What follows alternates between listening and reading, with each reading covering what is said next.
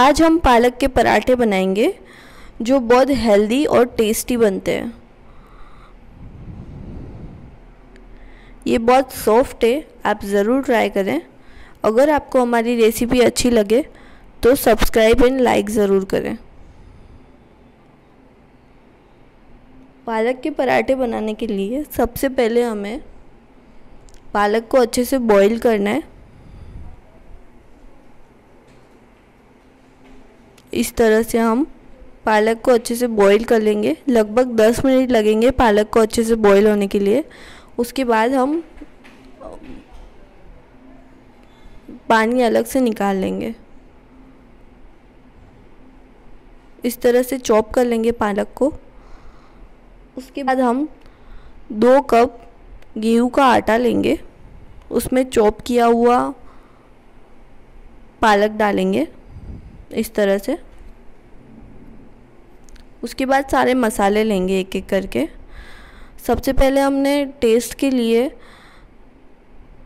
अचार का मसाला लिया है। उसमें थोड़ा सा ऑयल डाला है। उसके बाद हमने रेड मिर्च पाउडर डाला है one tablespoon one tablespoon हमने धनिया पाउडर डाला है। वन टेबल स्पून हमने जीरा डाला है। स्वादानुसार हमने नमक डाला है। थोड़ी सी हल्दी डाली है और बहुत ही अच्छा टेस्ट आने के लिए हमने अजवाइन डाली है और अच्छे से आटा लगा लिया है इस तरह से। हमारा आटा लग के रेडी है। अब हम पराठे बनाएँगे।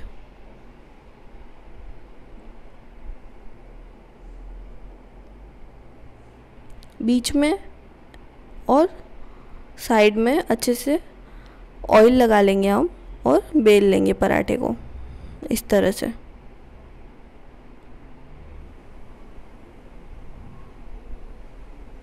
अच्छे से बेल लिया है हमने पराठा, अब हम इसको सेक लेंगे। एक साइड थोड़ा सा पकने के बाद हम पलट के ऑयल लगाएँगे हल्का हल्का देन पलटेंगे। आप देख सकते हैं। और दूसरी साइड भी ऑयल लगा के अच्छे से पका लेंगे।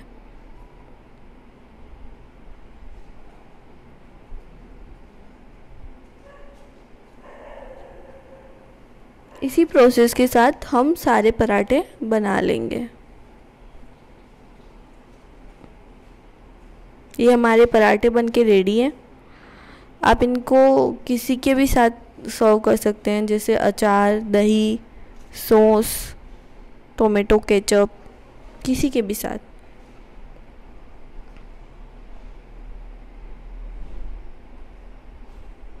इस तरह से हमने सर्व किया है। आपको हमारी रेसिपी अच्छी लगे तो